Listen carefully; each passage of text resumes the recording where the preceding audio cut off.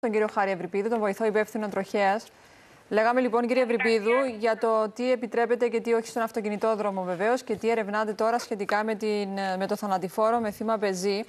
Ε, να πάμε όμως στην άλλη περίπτωση, αυτή του, στο τροχαίο που ενεπλάκη μοτοσυκλετιστής αστυνομικός.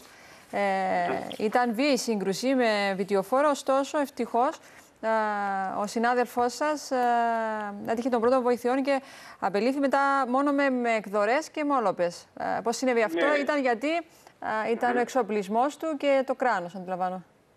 Ναι, ναι, είναι ένα πολύ καλό παράδειγμα για το, για το πώς πρέπει να χρησιμοποιούμε σωστά τον εξοπλισμό μας ε, ως μοτοσυκλετιστές, αλλά και την εκπαίδευση, γιατί είναι και θέμα εκπαίδευσης ε, σω- και σωστής χρήσης της μοτοσυκλέτας μέσα στο οδικό δίκτυο. Ε, παρά τα λάθη που μπορούν να γίνουν από τους άλλους οδηγούς και γίνονται δυστυχώς πολλά, πο- πολλά γιατί δεν λαμβάνουν υπόψη τους μοτοσυκλετιστές, Εν τούτης, αν εμείς ε, όσοι θέλουμε να γίνομαστε με μοτοσυκλέτα, φέρουμε τον προστατευτικό μας εξοπλισμό, τον σωστό προστατευτικό εξοπλισμό και έχουμε, χρησιμοποιούμε την εκπαίδευση που πρέπει να έχουμε, τότε οι συνέπειες για εμάς είναι ελάχιστες. Ε, ας το πάρουμε αυτό ως παράδειγμα.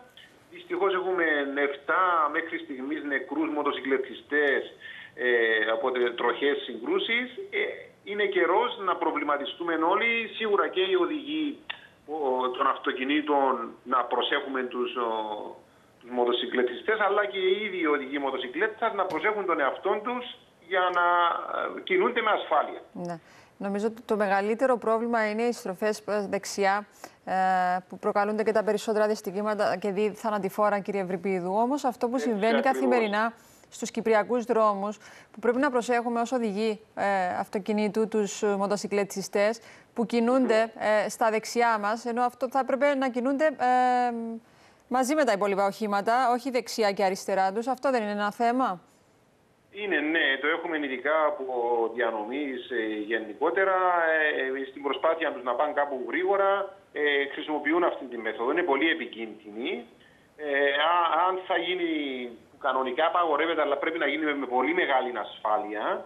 Ε, Όμως το να προσπερνούμε είτε από δεξιά είτε από αριστερά και να μην δούμε την ευκαιρία στον οδηγό να μας δει και να μας προσέξει, ακόμα χειρότερα για εμάς. Ε, χρειάζεται, όπως είπα προηγουμένως, προσπάθεια και από τους οδηγούς της μοτοσυκλέτας το πώς συμπεριφέρονται, αλλά και από τους υπόλοιπους τους οδηγούς το πώς ε, κινούνται και πώς, ε, τι επικίνδυνες κινήσεις κάνουν ε, έναντι των άλλων οδηγών, ειδικά των μοτοσυκλετιστών.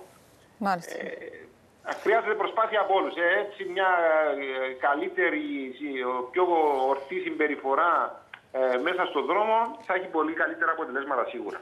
Ναι, διότι είναι Ιούνιος και μετράμε ήδη α, 13 νεκρούς στην άσφαλτο, ε, κύριε Ευρυπίδου. Ε, Ίσως επειδή ήταν και η πανδημία πριν και οι- τα α, περιοριστικά μέτρα ε, και ο εγκλισμός να είχαν μειωθεί, αλλά δυστυχώς να που ε, καταγράφουμε, δεν ξέρω αν είναι και αρνητικό ρεκόρ μέχρι αυτό τον μήνα. Ε, δεν είναι αρνητικό, ευτυχώς δεν είναι αρνητικό ρεκόρ. Έχουμε τρεις νεκρούς λιγότερους, αλλά σίγουρα δεν μας ικανοποιεί ούτε τρεις ούτε δεκατρει. Θέλουμε να μην υπάρχει κανένας ε, νεκρός στην ασφαλτό. Είναι άδικα, εντελώς άδικα που χάνονται οι ζωές στην ασφαλτό. Δεν υπάρχει κάποια ασθένεια ή ε, μια εγκληματική πράξη, παρόλο που σε κάποιες φορές είναι εγκληματικός ο τρόπος που συμπεριφέρονται κάποιοι. Αλλά αυτό που θέλω να πω είναι ότι εύκολα μπορεί να Ναι. αποφευχθούν. Φτάνει να τηρούμε κάποιους απλούς κανόνες ε, κάποιες κάπ, ε, απλές αρχές. Ε, σε σεβασμός προς τους άλλους οδηγούς ε, έχουμε, όπως αναφέρεται τώρα είναι καλοκαίρι, είναι αρχή του καλοκαιριού, θα βγουν οι μοτοσυκλέτες προς τα έξω.